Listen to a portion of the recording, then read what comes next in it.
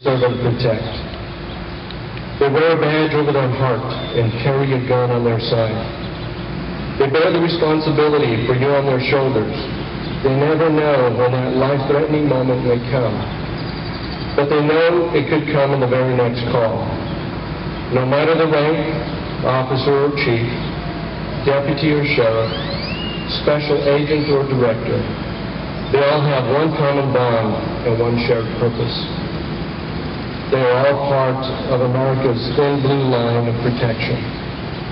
It is a line that separates good from evil, a line that guards the lawful from the lawless, a line of righteousness, service, and hope. These heroes of America have shown us that the thin blue line is actually more than just a single thread.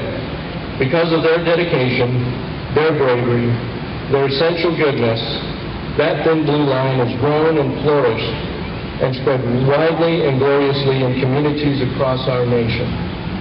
A vast and powerful line of protection that keeps all of us safe, secure, and free.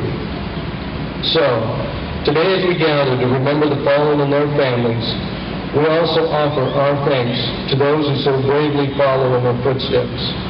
You are truly the greatest tribute of all to those who have made the supreme sacrifice.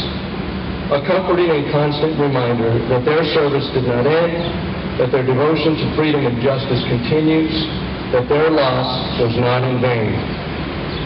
As we remember in the silent salute, let us honor all those who have fallen and their families who've been left behind.